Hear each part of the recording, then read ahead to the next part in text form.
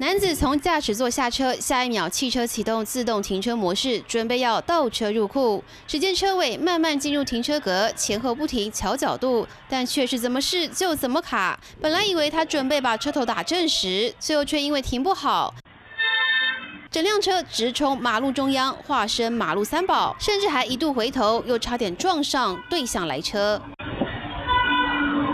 中国理想汽车 L 九拥有自动停车功能，但九十秒却停不进去的拉擦示范，在微博引发讨论。有人说这技术也太菜了，更笑说买这样的车都是交智商税。也有民众认为应该要加上一条人工规则，停不了就要接手，而不是冲上马路掉头。自己看马路上的，什么车位在这儿呢？他要自己看马路上到点。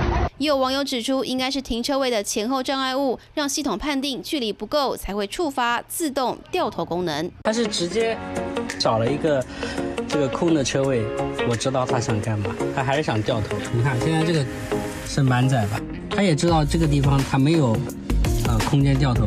虽然说各大厂牌智慧停车服务越来越夯，但目前系统判读还是没有真人聪明。一旦出包，不管是车主还是用路人，还是会捏把冷汗。